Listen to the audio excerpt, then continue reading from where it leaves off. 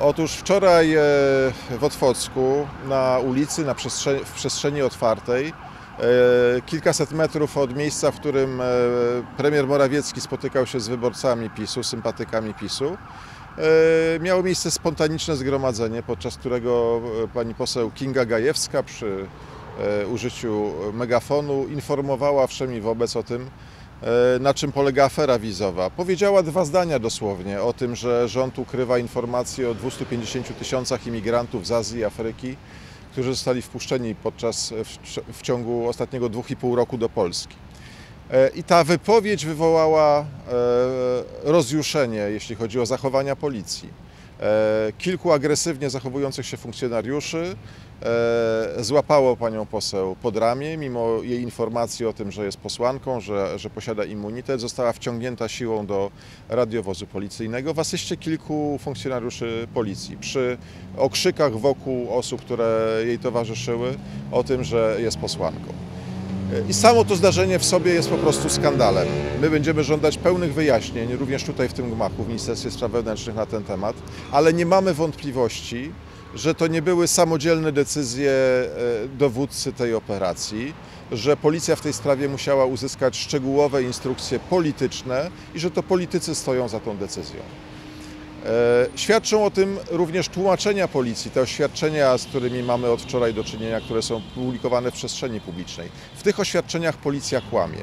Jest kłamstwem, że e, poseł Kinga Gajewska nie informowała o tym, że jest posłanką, że ma immunitet parlamentarny. Zresztą tego rodzaju zachowanie policji jest bezprawne, bez względu na to, czy dotyczyłoby osoby, która ma immunitet, czy zwykłej obywatelki, która przyszła i wyraża swoje zdanie, krytykuje rząd wciąż jeszcze zgodnie z polską konstytucją, przepisami prawa mamy, mamy prawo, tak jak my tutaj dzisiaj, wyjść i powiedzieć na ulicy, co myślimy o rządzie. E, interwencja policji była całkowicie, całkowicie bezprawna i e, fakt, że policja w oficjalnych oświadczeniach okłamuje obywateli, okłamuje opinię publiczną, świadczy o tym, że zlecenie na tego rodzaju działanie było z góry tutaj, z tego dokładnie gmachu.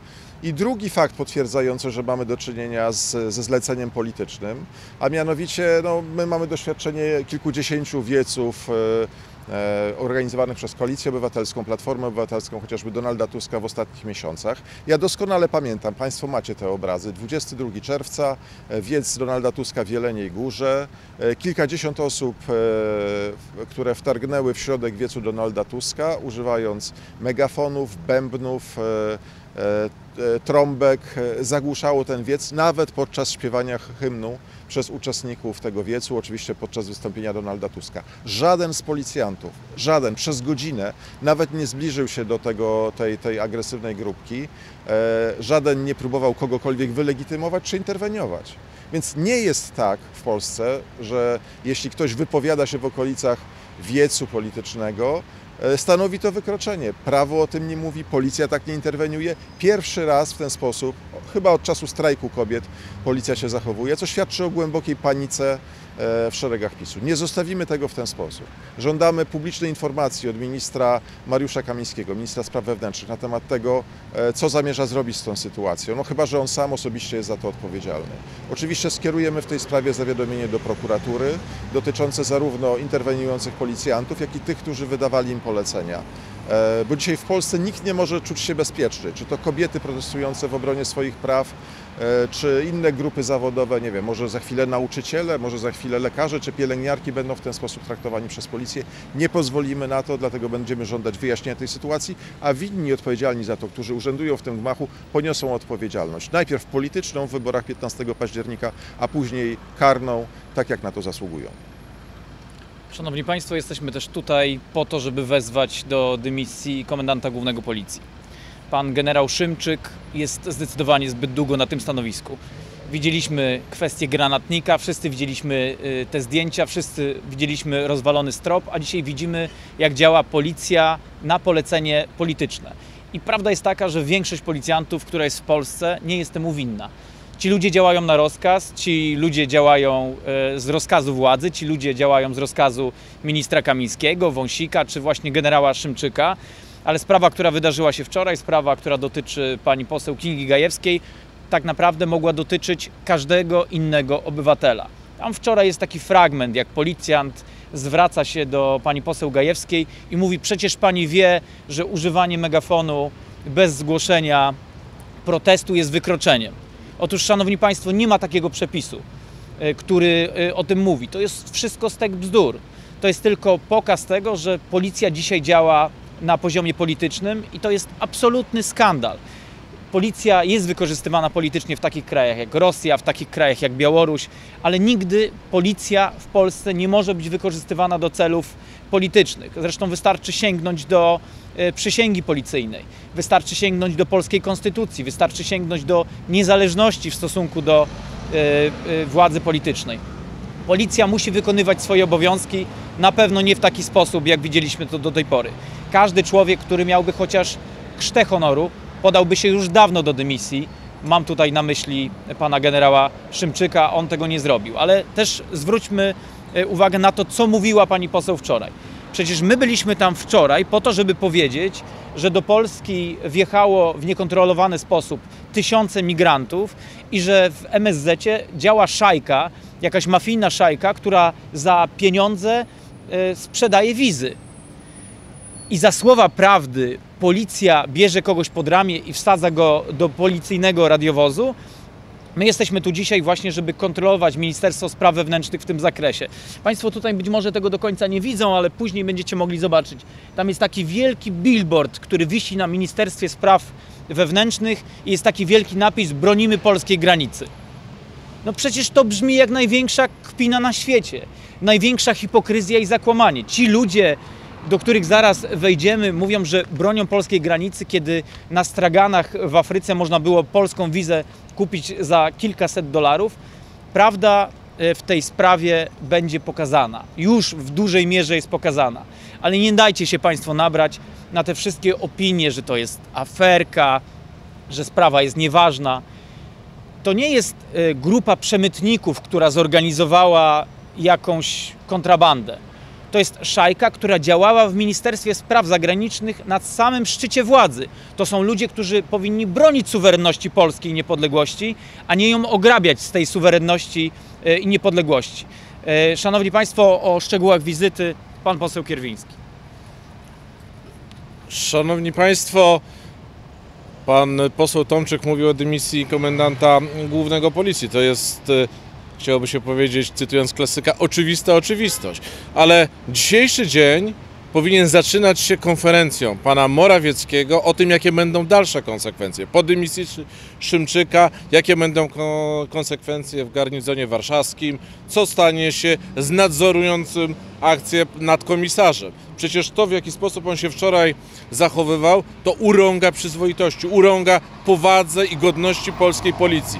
Ten człowiek jest bardziej zomowcem, a nie policjantem. On powinien dzisiaj wylecieć ze służby, być pozbawiony stopnia, pozbawiony uposażenia e, emerytalnego, bo za coś takiego, za celową przemoc wobec obywatela, niezależnie od tego, czy to jest poseł, czy zwykły obywatel, powinna być po prostu mocna reakcja państwa. Ale tej reakcji państwa, państwa PiS nie ma i pewnie nie będzie. Będzie mataczenie, będzie ukrywanie prawdy, tak jak mamy do czynienia z mataczeniem i ukrywaniem prawdy e, w sprawie afery wizowej PiS. Szanowni Państwo, my wracamy do MSWiA. Wracamy po licznych kontrolach, ponieważ we wszystkich ministerstwach, we wszystkich instytucjach, w których byliśmy, słyszymy właściwie jedno zdanie. No przecież Polska ma służby, przecież jest MSWiA i to oni powinni reagować. Wczoraj usłyszeliśmy to w Ministerstwie Edukacji, gdzie pytaliśmy o podrabiane dokumenty, yy, fałszerstwa, które pozwalają wjeżdżać do Polski. To usłyszeliśmy w MSZ, to słyszymy wreszcie na przykład w Straży Granicznej, którą przecież e, MSWiA nadzoruje. Wracamy do tego jądra zła w tej aferze, bo szajka, e, mafia wizowa działała w MSZ, w okolicach MSZ-u.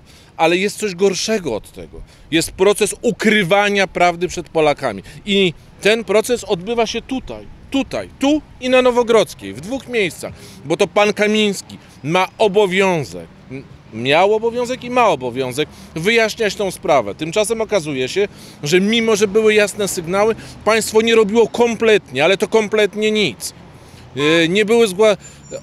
Ponad rok czasu udawano, że nic się nie dzieje. Dopiero jak e, my jako posłowie opozycji, pan premier Donald Tusk ujawniliśmy fakty, nagle zaczęło się coś dziać. I bardzo prorocze są słowa pana Ziobry, który mówi, no przecież mógłbym zajmować się tą sprawą z inną intensywnością. No i tu jest cała, cała prawda. Oni się zajmują z taką intensywnością, żeby tylko i wyłącznie prawda o łapówkach, o korupcji, o przekrętach nie wyszła e, na jaw do wyborów, ale wyjdzie na jaw. My dziś będziemy żądali informacji. Poprosiliśmy o te informacje na piśmie, o informacje dotyczące tego, w jaki sposób i od kiedy MSW wiedziało o tej aferze. My wiemy już wiele e, na ten temat z innych ministerstw, mamy konkretne daty, możemy wskazywać konkretne pisma. Ciekawy jestem, co powiedzą dzisiaj panowie ministrowie z MSW i ja. A oni cały czas nam mówią, my nic nie wiedzieliśmy, my re- reagowaliśmy, my coś robiliśmy, tylko niech powiedzą, co konkretnie robili, bo przez wiele, wiele miesięcy w Polsce działała mafia, mafia, która sprzedawała polskie oficjalne dokumenty. I działo się to za pełnym przyzwoleniem politycznym. Za pełnym przyzwoleniem politycznym, podkreślam to z pełną odpowiedzialnością. Wszyscy o tym wiedzieli, nikt na ten temat e, nie reagował, nikt z władz nie zrobił kompletnie nic. Szanowni Państwo, MSWiA miało także informacje i to też będziemy chcieli sprawdzić, potwierdzić to. Mamy nieoficjalnie te informacje, że wiedzieli dokładnie o tym, jakie osoby łącznie z tymi osobami niebezpiecznymi wjeżdżały na teren Polski. I prawda na ten temat to jest kwestia elementarnego bezpieczeństwa każdego z obywateli. I pan Kamiński nie powinien chować się tchórzliwie e, w swoim ministerstwie, tylko wreszcie wyjść do obywateli i powiedzieć prawdę. Całą prawdę w tej sprawie. Sprawa afery wizowej zostanie wyjaśniona. Większość wątków już wiemy. Do 15 października pokażemy jeszcze wiele nowych faktów, ale po 15 października, kiedy to Polacy zdymisjonują e, tych ludzi, wtedy e, ta sprawa będzie przedmiotem odpowiedzialności karnej. I jeszcze jedno. Minister Kamiński udaje dzisiaj kompletnie ślepego i głuchego. Nic nie wiedział, nic nie słyszał, nikt mu nic nie mówił. Ale on w tej sprawie nie był ślepy. On w tej sprawie działał jako osoba, która i cały ten resort, które celowo nie zauważało nieprawidłowości. I dokładnie dzisiaj to będziemy sprawdzać. Czy są pytania? Bardzo proszę. To ja zapytam, bo mówił Pan, że planowane są kolejne kroki do innymi. Które kolejne ministerstwa zamierzają? Pani redaktor, jeśli pani pozwoli, ja nie powiem o, bo to e, nie powiem o konkretnym ministerstwie, choć mamy to rozpisane, ale powiem o kolejnym wątku, na który zwracaliśmy uwagę i cieszymy się, że dzisiaj media także ten wątek podejmują.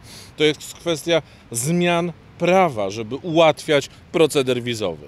Dziś pisze o tym jeden z dzienników. Ja nie wiem, czy Państwo pamiętacie, z większością z Was widziałem się już w zeszłym tygodniu. My e, mówiliśmy o tym, że doszło nawet do takiej dziwnej zmiany prawa, żeby tylko więcej kompetencji było w MSZ, żeby można było te wizy wydawać, no powiedziałbym już w ogóle bez zobaczenia nawet delikwenta, któremu się wydaje tą wizę. To będziemy, e, tym się będziemy zajmować, no bo mówiąc zupełnie szczerze, pisanie prawa pod dziwny proceder dziwnie przypomina, mm, dziwnie przypomina przychodzenie mm, no, prawie 20 lat temu do, i pisanie ustawy pod dyktando, które znamy z afery Rivina.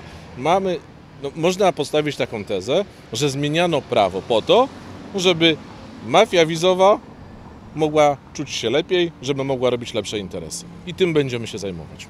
Ten wątek, o którym powiedział pan poseł Kierwiński jest bardzo ważny, bo w ciągu ostatnich trzech lat wprowadzane były zmiany na poziomie rozporządzeń i na poziomie ustaw, które ułatwiały, powiedziałbym, e, przepychanie e, kwestii wiz poza oficjalnymi strukturami, poza strukturami konsulatów, poza oficjalnym sprawdzeniem. Kluczowa jest ustawa covidowa, w której zabrano czy przekazano kompetencje, które mieli e, konsulowie w terenie, e, tutaj do Warszawy, tak żeby pod okiem ministra czy też wiceministra spraw zagranicznych można było wydawać wizy bez żadnego tłumaczenia czy wydawania poleceń w konsulatach. No, trudno mieć inne skojarzenie w tej sytuacji jak to, że chciano usprawnić proces sprzedawania wiz wi- wiz za pieniądze w ten sposób. Ale mówimy tutaj o ustawie, która przeszła przez Sejm. Poparła ją większość pisowska.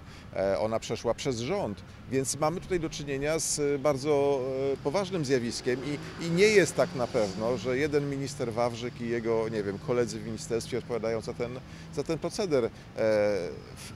Nie sądzę, żeby jeden wiceminister był w stanie przekonać 231 posłów, żeby uchwalili przepisy e, takie, które pozwolą mu e, łatwiej organizować proceder wydawania nielegalnego wiz. Myślę, że tutaj musiało być bardzo mocne poparcie polityczne. Kogo i w jakim stopniu o tym będziemy na bieżąco informować. Dziękuję bardzo. Dziękujemy.